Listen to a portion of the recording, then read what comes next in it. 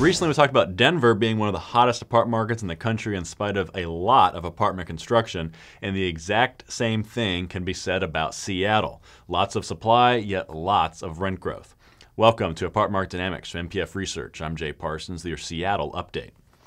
Seattle's economy continues to grow at a very good pace, and it's adding the types of jobs that tend to be very good for the apartment business younger, educated folks with upper incomes in industries like tech. And that has created enough of a tailwind that Seattle thus far has had little trouble absorbing a lot of new product. In fact, take a look at supply and demand levels annually going back the past four years, and you can see that demand returned to the marketplace in big numbers back in early 2010, at which point supply was still quite meaningful. Uh, demand continued to supply for 15 straight quarters, even as supply ramped back way up. And you can see, though, that that streak did come to an end in Q4 of 13. Demand came in just a hair below supply, but still very healthy relative to that volume of supply.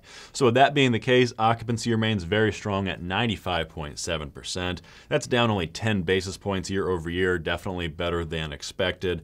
And as you might expect, occupancy would be higher if not for new supply in the marketplace. In fact, in the same store data set, which excludes new completions, occupancy did inch up in 2013, which tells us that the, the new supply is not taking away demand for existing product. But what is perhaps even more impressive is that operators aren't pulling back on rent growth levels in order to compete with all this new development. Same store rents for new leases were up 5.5% in 2013. That was the sixth largest hike in the country behind only the Bay Area trio plus Denver and Portland. And here are the five submarkets with the biggest rent hikes in 2013.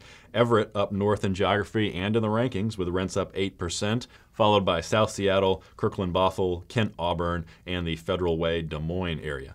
Now, most of those spots don't have a lot of construction aside from Kirkland Bothell. Let's take a look at the five most active construction hotspots and the rent growth levels in each of them in 2013. In town Seattle, nearly 4,000 units underway on top of about 2,500 units that completed in 2013, and rents still up 4.7%. Very impressive. The other big one is next door, the Capitol Hill University District Ballard area, nearly 3,000 units underway on top of about 1,300 units that completed in 2013. Rents still up 5.5% year over year. And similar stories in the Lynnwood area, West Bellevue, as well as Kirkland Bothell, which you mentioned earlier. So the big question is, how long can rents continue to climb at these kind of levels given the supply numbers that we're seeing? Uh, supply will actually increase even further in 2014, about 10,000 units on track to complete in 2014, the most in more than two decades for the metro Seattle area. Clearly, there will be some effect on occupancy and rents. The question is how much. And the good news is Seattle has two things going for it. Number one, demand has been strong and those tailwinds look very good. And number two, Seattle has some smart apartment operators who have not been afraid to keep pushing rents um, and, and, haven't been, and haven't been overreacting to increasing supply. So our view is that rent growth levels do cool down a little bit, but remain pretty strong. Uh, where MPF is forecasting rent growth of 3.8% in 2014, which should still be among the better performances in the country. And that wraps up for Seattle. So until next time, for Apartment Dynamics and MPF Research, I'm Jay Parsons. Thank you for watching.